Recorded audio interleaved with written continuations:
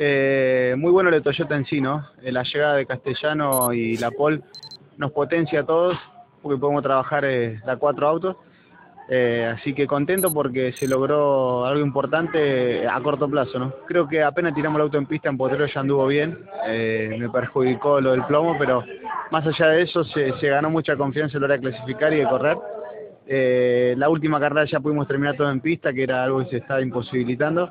Así que nada, esperemos que esta vez sea en pista y adelante en lo posible tanto Castellano como yo. Igualmente anda muy bien Fabricio, no es creo creo que no clasificó como realmente está el auto. Creo que Jonathan es uno de los pilotos que hoy mejor está corriendo, lo está demostrando en el TC, el TN el año pasado lo demostró en su primera categoría. No me sorprende de Jonathan. Sí, el auto en sí fue el que menos se tocó y está a la vista, ¿no? Tuvo una clasificación muy limpia, él solo adelante. Yo me perjudiqué un poquito con Tito, pero pero esas cuatro décimas por ahí son dos. Pero nada. Eh, ¿Qué pasó con Tito?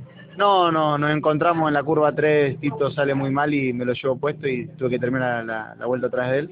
Pero a la vez me dio por derecho, ¿no? La succión, entonces perdí poquito, no, no, pudo haber sido peor.